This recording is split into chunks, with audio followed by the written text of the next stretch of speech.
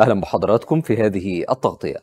ضمن المخطط الاستراتيجي لتطوير مدينة الغردقة السياحية تم تشييد أكبر منطقة خدمات متكاملة لبيع الأسماك وده علشان يتم تحسين الصورة الذهنية والبصرية للمدينة السياحية وكمان لتكون تجربة جديدة للوفود السياحية اللي بتزور حلقة السمك القديمة ضمن الرحلات السياحية للغردقة.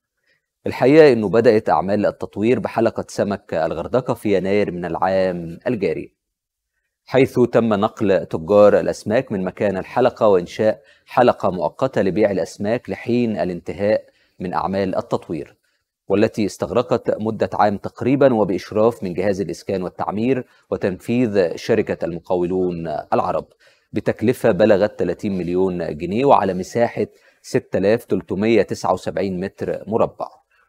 محافظ البحر الأحمر اللواء عمرو حنفي افتتح حلقة السمك الجديدة بعد الانتهاء من أعمال الإحلال والتجديد بها. والذي أكد خلال الافتتاح أن حلقة السمك الجديدة تمت فيها أعمال التطوير لتحسين الصورة الذهنية للمدينة السياحية واستقبال الضيوف بشكل حضري. وده بتوجيهات من القيادة السياسية لإبراز جمال المدينة وتحسين الصورة الذهنية لها. أيضا محافظ البحر الأحمر أوضح خلال افتتاح حلقة السمك أن عمليات التطوير جاءت لتقديم خدمات جميع الخدمات اللوجستية داخلها كما أن عمليات التطوير تمت على أعلى مستوى وبكفاءة عالمية لتناسب طبيعة المنطقة وخاصة لموقعها المتميز بين مارينا الغردقة السياحي ومسجد الميناء الكبير. الحقيقة أنه محافظ البحر الأحمر كشف أن أعمال التطوير شملت إنشاء منطقة خدمات كاملة داخل حلقة السمك وده لتوفير الخدمة الكاملة للمواطنين الوافدين عليها مثل محال بيع الخضروات وأفران للأسماك ومحال لتنظيفها وتزويدها بكل الإمكانات والخدمات اللوجستية.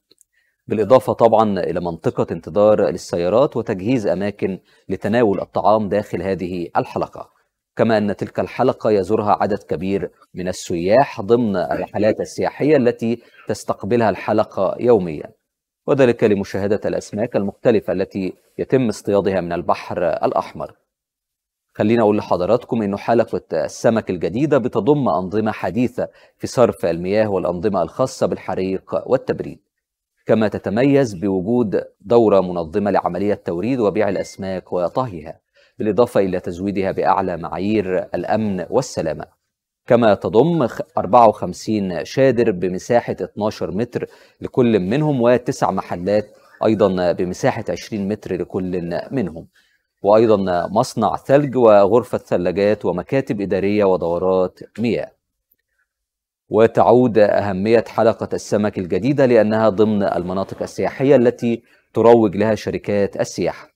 طبعا في أماكن بارزة في الغردقة بيحب السياح زيارتها وعلى رأسها زيارة منطقة الميناء التي تبدأ بمسجد الميناء الذي يعتبر أهم مزار سياحي إسلامي.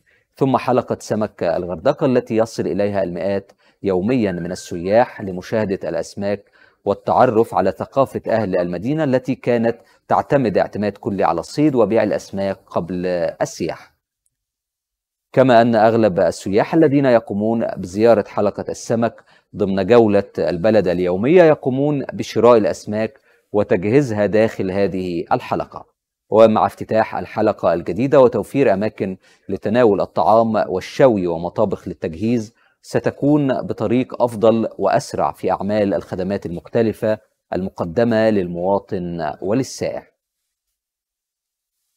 مستمرين في تغطية إخبارية على مدار الساعة من تلفزيون اليوم السابع. شكرا جزيلا لحضراتكم.